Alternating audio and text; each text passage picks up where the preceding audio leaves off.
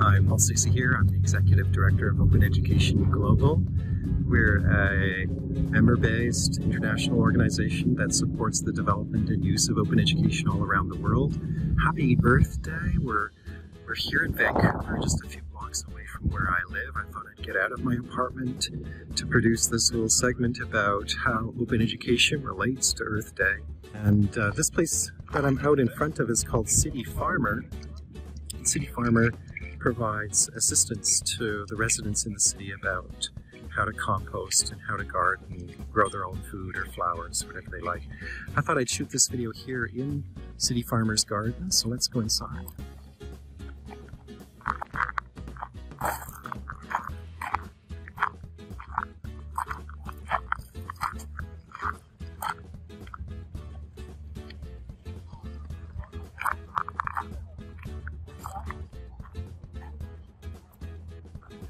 Why don't we stop here for a second? I mean, one of the things I like about Earth Day is uh, the way you are encouraged to kind of take a moment and stop and just enjoy the beautiful nature around you and the, the way the life is is uh, is developing. This is like a beautiful rosemary plant here. Mm. It's, it's lovely. Let's just go a bit further. We are in uh, an area called City Farmer Worm Corner. Uh, just over here is where they, they actually are composting and uh, and kind of developing worms using these beautiful compost bins. I'm just going to set up here.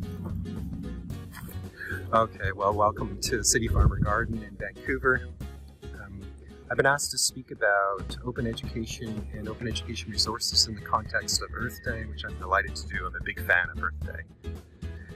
And um, given the nature of my organization, Open Education Global, I've been asked to speak to it in the context of the world. So um, I wanted to do that in a number of ways. Let me get, let me sort of use some, uh, I printed out a few things to share that I think might help.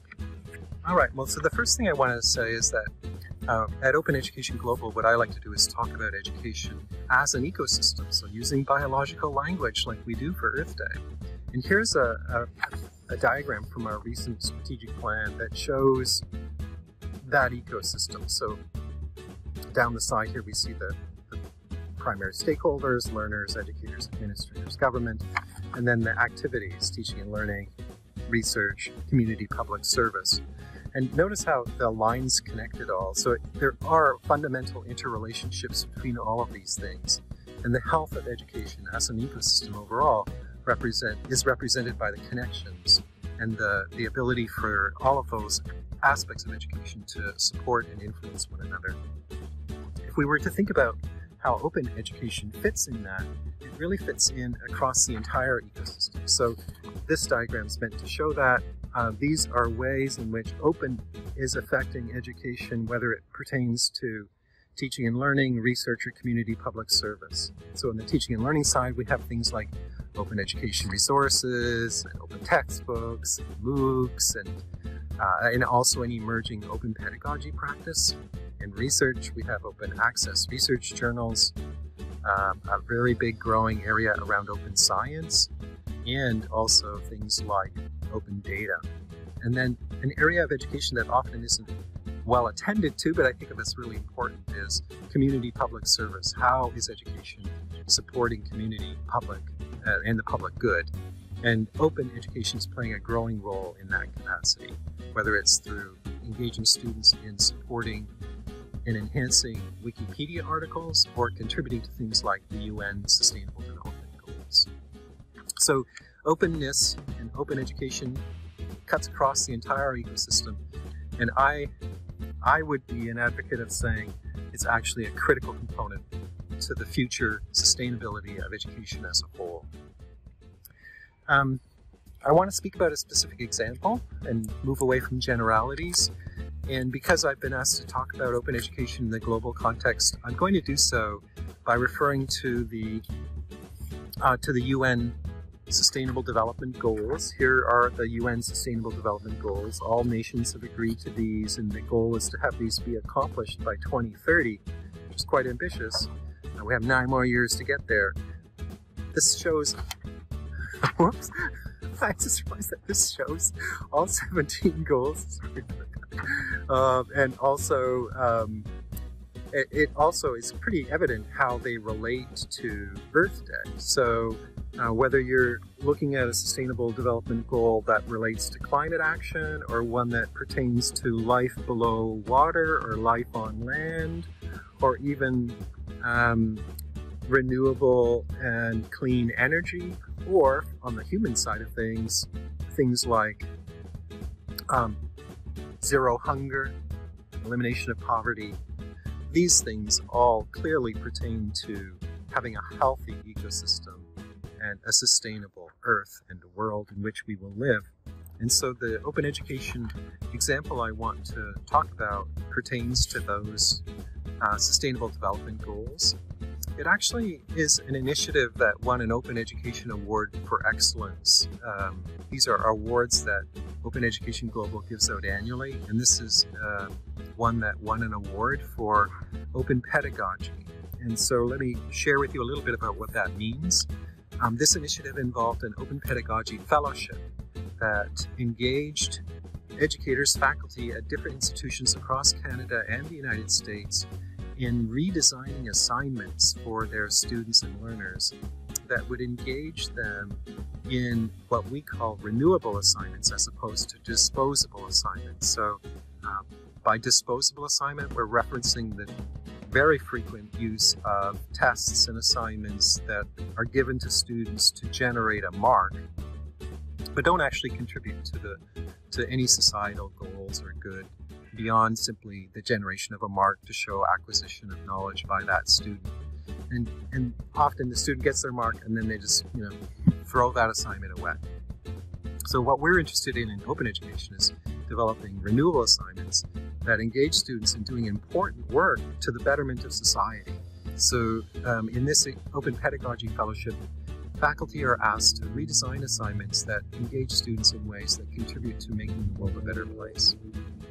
So uh, there are lots of different uh, colleges involved, including uh, Kwantlen Polytechnic University here in, uh, in British Columbia, Canada, where I live, but also colleges across the U.S. like Montgomery College and Maricopa and so on. So there's a lot of different participants now that are engaged in this practice.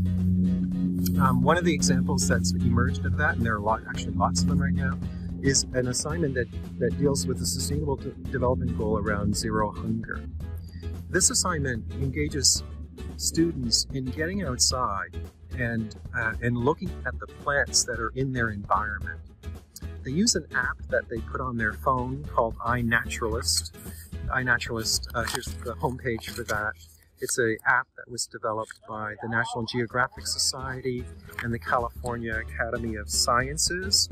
And um, iNaturalist, what happens is the student is encouraged to get out in the environment, use their phone, take a picture of a plant in your environment, which could be like a weed growing in cracks here in the city, and you upload it to iNaturalist, and in iNaturalist, it adds data about that.